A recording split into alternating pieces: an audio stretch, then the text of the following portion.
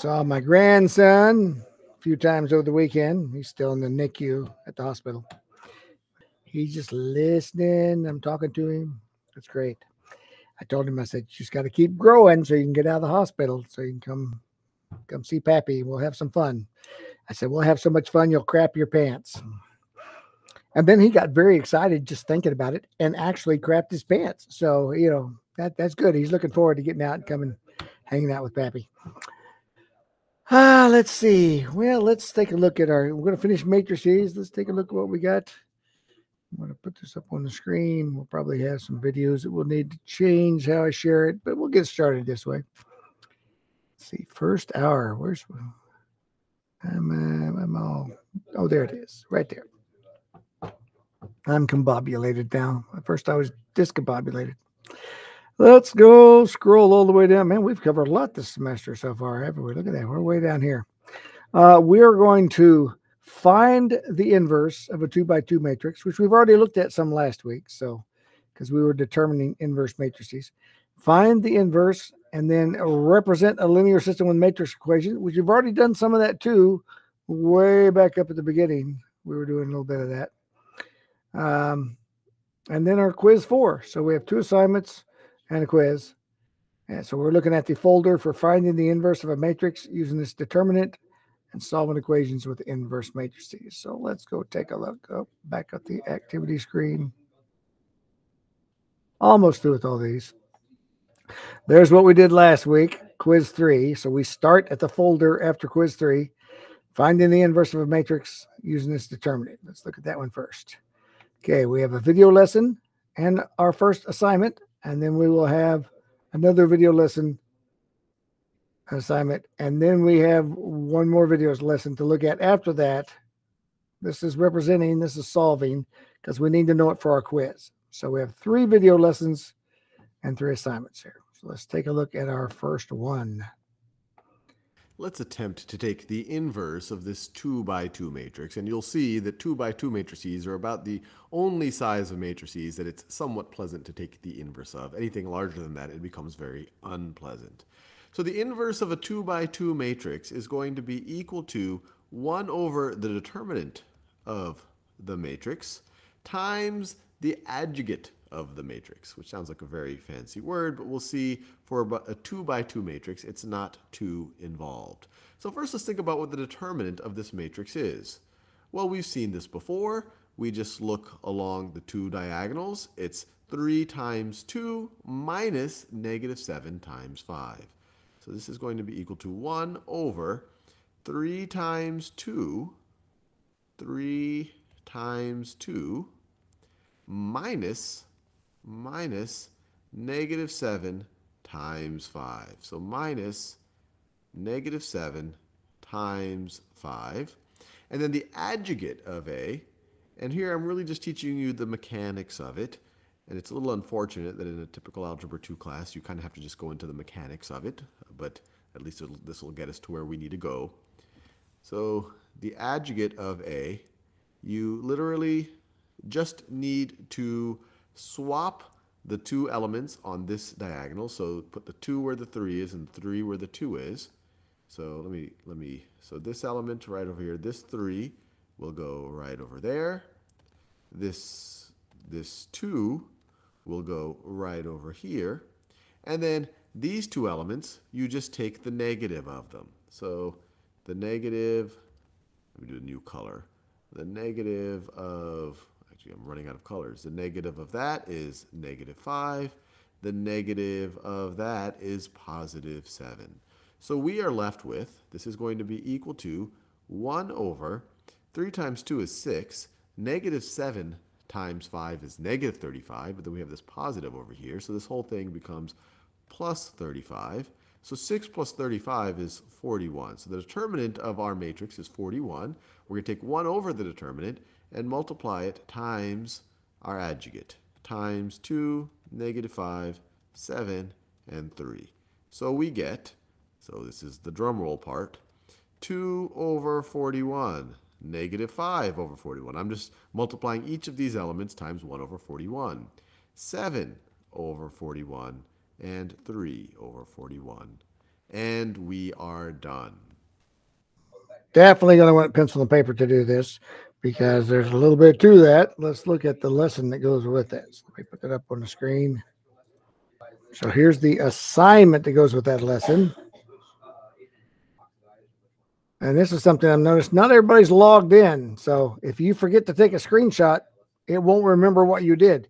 If you log in when you go to Khan Academy because you forgot to take a screenshot, it'll still have your score. It'll remember you scored that. So make sure you logged in. I still see people that are not logged in when they go there.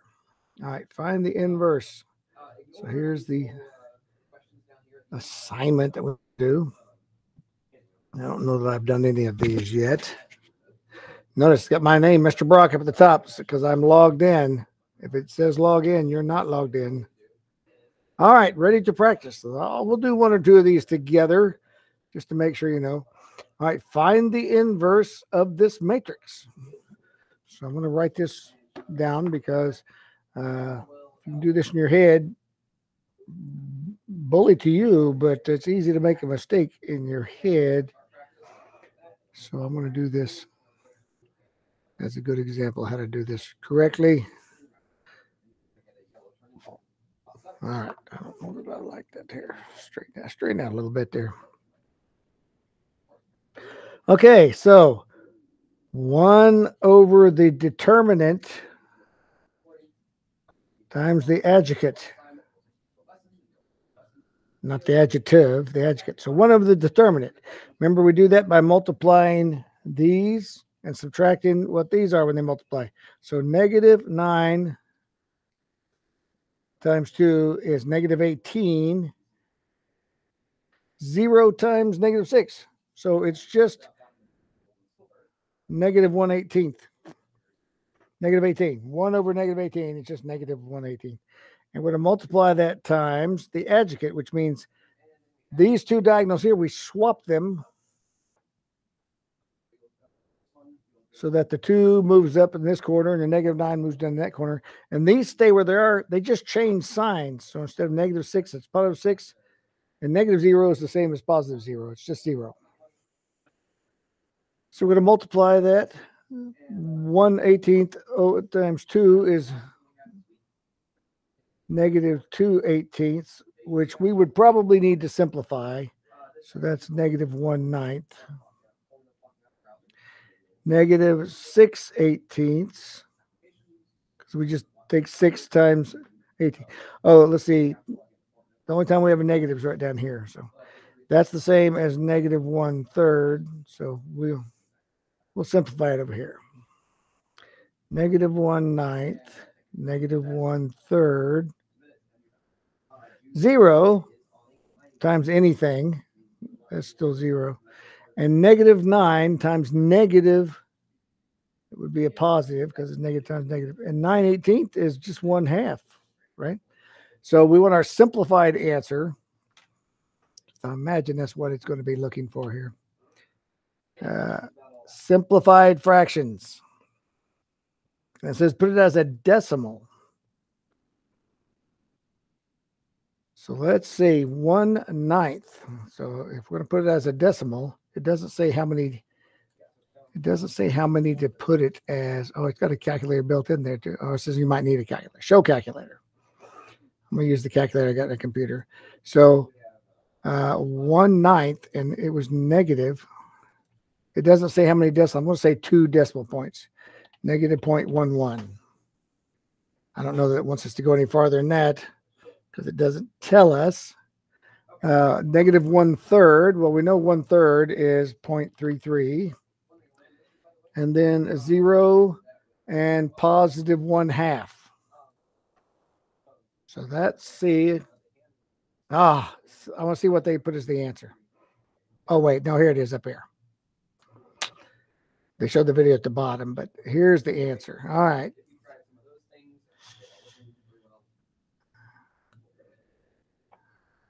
So they found negative 1 18th, which we did. Oh, they have the exact same answers we had. Negative 1 ninth, negative 1 third, 0, and 1 half. And yet they told us to put it in decimal or simplified fraction. I guess I should put the simplified fraction since that is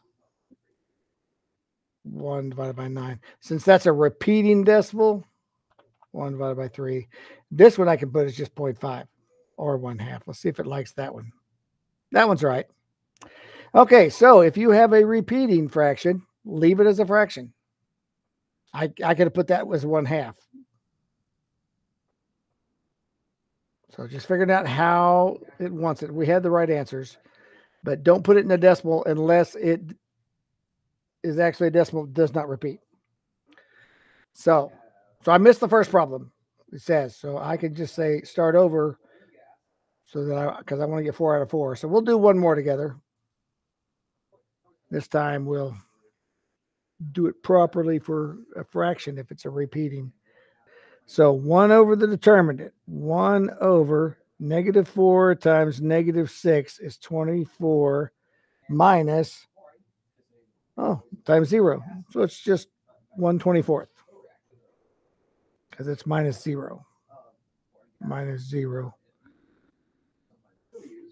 So 124th times, remember these trade places, and these, well, 0 stays 0 Negative 10 becomes positive 10. So 1 over 24. So negative, negative times a positive. This is a positive this time. So negative 6 over 24, and we'll simplify that. 0, uh, 10 over 24 positive times positive, and this is a negative, negative 4 over 24. Let's see, so how does that simplify? Well, 6 over 24 is just negative 1 fourth. 10 over 24 uh, simplifies to just take 2 out of the top and bottom, 5 twelfths, and that is negative 1 over 6. So I'm going to enter all of those as just simplified fractions since it, it lets us do that. So this is negative one fourth. And zero, oh, I didn't mean decimal. There you go. Negative one fourth, zero, five twelfths, and negative one over six. So there you go. That's how you do it. Fortunately, when you multiply uh, times a fraction, we just have one on top. So you multiply straight across. Negative 6 times 1 is negative 6 24th. 10 times 1 24th, 10 times 1. So the multiplying part, even though you have a fraction, is very, very simple because the top is 1 and you multiply it by whole numbers. So you just multiply the top by the whole number. All right, don't make that more difficult. The only difficult part, part may be simplifying, but these weren't too bad. All right, so we are going to abandon that right now. I won't finish that now. I'll let you look at that later. But get your get your four problems right. Start over if you need to. That's that assignment right there. All right, let's go to this next folder, solving equations with inverse matrices. Let's look at the video lesson on representing linear systems. First, we need to know how to represent it before we can solve it. I have a system of two equations with two unknowns here. And we've seen how to solve this, and there's multiple techniques we've used, substitution, elimination, and we could do that right over here. In fact, you could just add the two, the, the left sides of the equations and the right sides of the equations. The s's would cancel out. Actually, let's just do it to show how that's relatively straightforward for at least this example right over here. You add the left-hand sides. These cancel out. You're left with negative t, negative t is equal to is equal to 7 plus negative 6 is equal to 1, or you get that t is equal to negative 1, t is equal to negative 1, and if t is equal to negative 1, this top, this top equation, you could use either one, would simplify to 2 times s, negative 5 times negative 1 is plus 5, plus 5 is equal to 7, is equal to, let me use those same colors that we have over there, is equal to 7, or, and we could do this part in our head, 2s must be equal to 2, and that s is equal to 1. 2 times 1 plus 5 is 7. And so we have s is equal to 1. So that was pretty straightforward. What we're going to do in this video is represent the same system, but we're going to represent it essentially as a matrix equation. And we're going to solve it using inverse matrices. And I, will give you a little bit of a, of a warning. It's going to be more involved. It's going to take us more time to this. And you're probably going to be saying, well, why are we even going through the trouble of it? And the value of what we're going to do in this video is that it's very useful in computation, where you might solve almost the same system over and over and over again. Maybe the left-hand sides are the same, the right hands keep changing, and this might be something that you you, you might see while writing a computer game or while while working on uh, you know some type of uh, computer pro problem. And so, and, and this is a general theme. A lot of the value of matrices are they are ways to represent problems, mathematical problems, ways to represent data, and they they're and and then we can use matrix operations, matrix equations to essentially manipulate manipulate them in appropriate ways if we're, for the most part, writing computer programs or things like computer programs. So bear with me. You will enjoy it eventually, what we're about to do. And, and one day you will see that it is actually quite useful. So the first thing we need to see or need to appreciate is that this can be represented by a matrix equation. Now what I'm going to do is I'm going to take the coefficients here. So I'm going to take the coefficients here. So 2, negative 5, 2, negative 5, negative 2, negative 2 and 4, and positive 4. So all I've done is I've taken the coefficients here, and I'm going to claim that that times the column vector, column vector st, s, and t, being equal to, being equal to the column vector, being equal to the column vector 7, negative 6, 7, negative 6 is the exact same thing as what we have right over here. These are representing the same constraints on the variable s and t. And you say, well, I don't, I don't quite get that. And if you're saying you don't quite get that, multiply this out. Multiply this out and think about which entries they need to be equal to when you multiply it out. And you would see, well, this entry, this first row, first column, that's going to be this row. We're going to be dealing with this row and that column. So if you think about it, it's going to be this. This tells us that 2, 2 times s, 2 times s, plus negative 5 times t, so I could say minus 5 times t, must be equal to the first entry up here. First row, first column is equal to 7. All I did is I multiplied I dealt with the first row, first column, and said, well, when I when I take essentially the dot product of those, and we, if you don't know what a dot product is, don't worry, we'll explain it other places. It's essentially what I just did here. The first and the first entry here times the first entry, the second entry here times the second entry, and we add them together. That that must be equal to seven. But when you do that, you essentially construct this first equation. And when you do it with the second row and this column, you construct the second equation. You get negative two times s, negative two times s plus 4 times t plus 4 times t 4 times t is equal to negative 6 is equal to negative 6 is equal to negative 6. So hopefully you appreciate that this contains the same information as that. And there's other ways that I could have done it. For example, you could have, instead of writing it this way, I obviously, this system is obviously the same thing, is obviously the same thing as, and actually let me just copy and paste it is the same thing as, so copy and paste is the same thing as this system where I'm really just swapping. So once again, copy and paste. I'm just, obviously I've written the second one first and I've written the first one second. So these, this is obviously the same system. And so if I wanted to construct a matrix equation with this system, I would just swap all of the rows. The first row here would be negative 2, 4. Well, I would swap the rows for the coefficients, but I would still keep the s and t's in the same order. And you could do that. Try to try to re represent this right over here as a matrix equation. You would have the matrix here would be negative 2, 4, 2, negative 5, and this would be negative 6, 7. But now that we've set this up, how do we actually solve something like this? Why, why do we even do this? And to think about this, let's actually think about it in terms of literally a matrix equation. So let's say that A, the matrix A is this thing right over here. This thing over here is the matrix A. let's say that this right over here, this is the column vector x. And since, so I'll write it as a vector x right over here. So you have the column vector x, and then this right over here, you could say that this is equal, and let's call this the column vector b. So this is equal to the column vector b. So we're essentially saying that A, the matrix A, times the column vector x is equal to, is equal to the column vector b. Let me write that again right over here, just to emphasize it. The matrix A times the column vector x is going to be equal to is equal to the column vector b. And so this is what they're talking about when they say a matrix equation. And actually, even before we even think about computation and computer graphics and all of that, you will see a lot of things like this in physics, where they're speaking in general terms, where they might not even be specifying the dimensions of the matrix or the dimensions of this vector, but they're talking about some general property in, say, physics.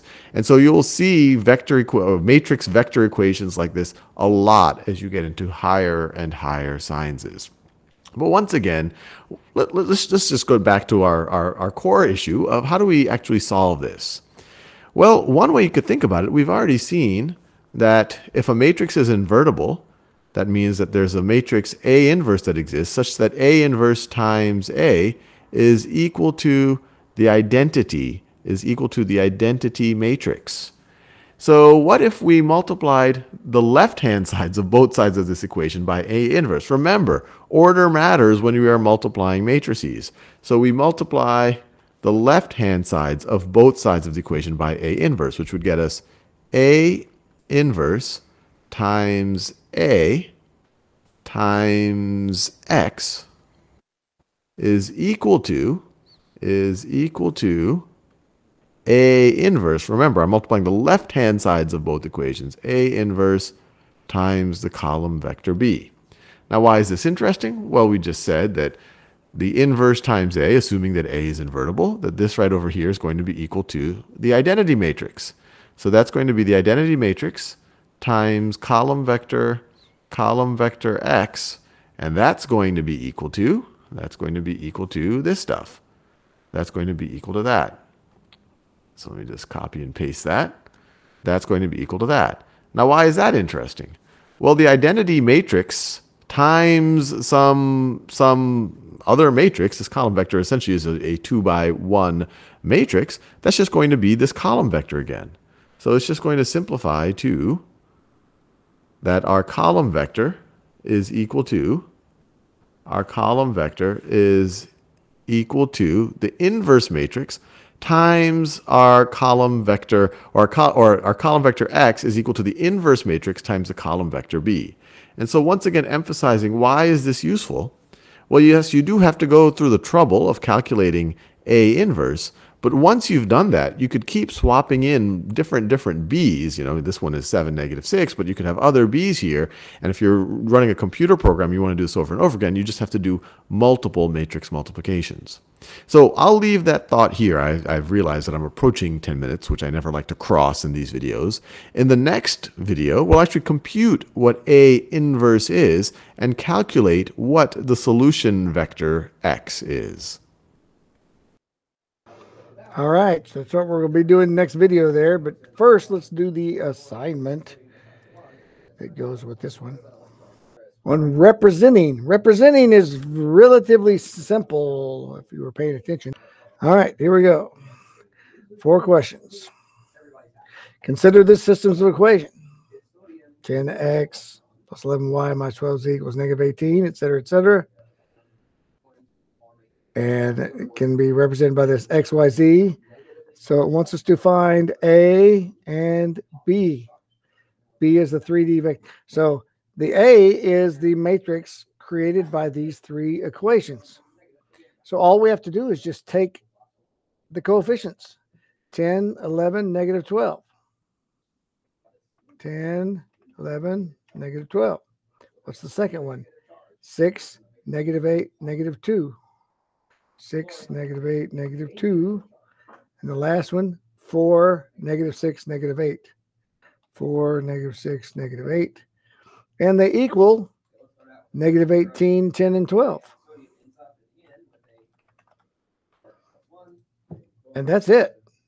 That's how we represent the system of equations right here. Check. It's just a matter of copying the numbers from the coefficients. Let's try another one. Here's our new equation. 6x, y, and z. So 6, 1, and 9. 6, 1, 9. 2, 8, and 1. Don't let them fool you. That's a 1. And 9, negative 2, and 6. 9, negative 2, and 6. And it equals 10, negative 11, 13. Check. Let's see if they put a tricky one on us. Okay, I knew they'd do this. Look, it says it's x, y, and z. But if you look at this first equation, do you see the x, y, and z? I see the x, I see the y. What's the coefficient of z? X is 6, y is 5. z must be 0 because there's none of them there. What about this one? There's a y and a z. There's no x. x must be 0. Then there's negative 10 for the y, and there's 22 for the z. And then the last one, we've got an x and a z, but there's no y. So let's do 4, 0 for the y, negative 6. And it equals 22, 24, negative 4. 4. All right, let's see. See, that's what you just put zeros as coefficients of any missing variables. And then another easier one at the end. Might as well finish it. I've done all the others, right? Negative 8, 6, 2. Uh, 3, 5, 9. And 12, 16, 8. Equals 22, negative 4, and 10. Not quite yet. What did I miss? Negative 8, 6, and 2, and 22. Oh, that's a supposed to be a 3. I put a 6. There it was. All right, 4, 4. Let's close that. One more lesson to look at here, solving linear systems. Now we're actually going to solve it. So we're going to go through the steps to solve it. So pay attention because this we'll look at the quiz here in a moment, and I'm betting we got one on the quiz. Take a system of two equations with two unknowns and represent it as a matrix equation, where the matrix A is are the coefficients here on the left-hand side. The column vector x has our two unknown variables, s and t, and then the column vector b is essentially representing the right-hand side over here. And what was interesting about it, we, well, then that would be the equation A, the matrix A times the column vector X being equal to the column vector B. And what was interesting about that is we saw, well, look, if A is invertible, we can multiply both the both the left and the right hand sides of the equation, and we have to multiply them on the left hand sides of, of their respective sides by A inverse, because remember, matrix multi, when matrix multiplication order matters, so we're multiplying the left hand side of both sides of the equation. If we do that, then we can get to essentially solving for the unknown column vector. If we know what column vector x is, then we know what s and t are, and then we've essentially solved the system of equations. So now let's actually do that. Let's actually figure out what A inverse is and multiply that times the column vector B to figure out what the column vector X is and, and what S and T are. So A inverse, A inverse is equal to 1 over the determinant of A. The determinant of A it, for, a, for a 2 by 2 here is going to be 2 times 4 minus negative 2 times negative 5. So it's going to be 8 minus positive 10. 8 minus positive 10, which would be negative 2. So this would become negative 2 right over here. Once again, 2 times 4 is 8 minus negative 2 times negative 5. So minus positive 10, which gets us negative 2. And you multiply 1 over the determinant times what is sometimes called the adjoint of A, which is essentially swapping the, the top left and bottom right, or at least for a 2 by 2 matrix. So this would be a 4, this would be a 2. Notice I just swapped these and making these two negative, the negative of, of what they already are. So this is from a negative 2, this is going to become a positive 2, and this right over here is going to become a positive 5. If all of this looks completely unfamiliar to you, you might want to review the tutorial on inverting matrices because that's all I'm doing here. And so A inverse is going to be equal to, A inverse is going to be equal to, let's see, this is negative 1 half times 4 is negative 2. Negative 1 half, negative 1 half times 5 is negative 2.5 negative 2.5. And negative 1 half times 2 is negative 1. Negative 1 half times 2 is negative 1. So that's A inverse right over here. So now let's multiply A inverse times our column vector 7, negative 6. So let's do that. So this is A inverse. I'll rewrite it. Negative 2, negative 2.5, negative 1, negative 1, times 7 and negative 6 times, I'll just write them all in white here now, 7, negative 6. We've had a lot of practice multiplying, multiplying matrices. So what is this going to be equal to? So the first entry is going to be negative 2 times 7, which is negative 14, plus negative 2.5 times negative 6. So let's see, that's going to be positive. That's going to be 12 plus another 3. So it's going to be plus 15 plus 15. Negative 2.5 times negative 6 is positive 15. And then we're going to have negative 1 times 7, which is negative 7, plus negative 1 times negative 6. Well, that is positive 6. And so our the product, A inverse B, which is the same thing as the column vector x, is equal to, we deserve a little bit of a drum roll now, the column vector 1, negative 1. So we have just shown that this is equal to 1, negative 1, or that x is equal to 1, negative 1. Or we could even say that the column vector, the column vector st, s, column vector with the entries s and t, is equal to, is equal to 1, negative 1, is equal to 1, negative 1, which is another way of saying that s is equal to 1 and t is equal to negative 1. And I know what you're saying. I said this in the last video, and I'll say it again in this video. You're like, well, you know, it was so much easier to just solve the system directly, just with using elimination or using substitution. And I agree with you. But it is this is a useful technique because when you are doing problems in computation there may be situations where you have the left hand side of the system is stays the same but there's a many many many different values for the right hand side of the system. And so it might be easier to just compute the inverse once and just keep multiplying keep multiplying this inverse times the different the, the what we have on the right hand side and you know, you probably are familiar with you know some types you know you have graphics processors and graphics cards on computers, and they talk about special graphics processors. What these are really all about are the hardware that is special purpose for really fast matrix multiplication. Because when you're doing graphics processing, when you're thinking about modeling things in three dimensions and you're doing all these transformations, you're really just doing a lot of matrix multiplications really, really, really fast in real time so that to the user playing the game or whatever they're doing, it feels like they're in some type of a you know 3d real-time reality. So anyway i just want to point that out. This wouldn't be you know if i if if if, the, if i saw this just randomly I, my instincts would be to solve this with elimination. But this this ability to think of this as a as a matrix equation is is a very very useful concept. One actually not just in computation but also as you go into higher level sciences especially physics you will see a lot of matrix vector equations like this that kind of speak in generalities. And it's really important to think about what these actually represent and how they can actually be solved. All right there you have it.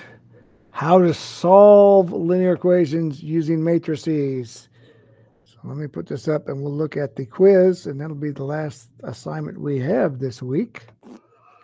So we go to the next thing here. Quiz number four. When we start it, let's take a look at what all we're going to have to do here. Consider this system of equations This is what we just did on representing this with matrices. So that's the first question. Represent this system of equations right here as two matrices. All right, so that's not right. We just did that. Uh, here's another one. Consider this system of equations. Represent it. All right. Here's another one. Three in a row. Oh, so we're not going to have to solve any of them. It's just all about can you represent systems of equations? Equation number four. Uh, got anything harder? Take anything harder out of it. So just four questions. You guys ought to be able to kill that. Do well. So you know how to solve it, but we're not going to quiz you on it. Made life just a little bit easier on you as we finish up. This is our last week in matrices. We're going to move on to something else uh, to finish up our school year, or uh, should we say, finish up your high school years for all of you seniors, because many of you are going to be gone in a month. So finish up matrices this week. We'll fill in the rest of the gap starting next week. And you guys have a fabulous week. This is a B Day Friday. So I'll be here Wednesday for anyone whose grades below 70%, which, gosh, it wasn't a whole lot of you because uh, you guys got stuff turned in. That's good. You guys are staying on top of it.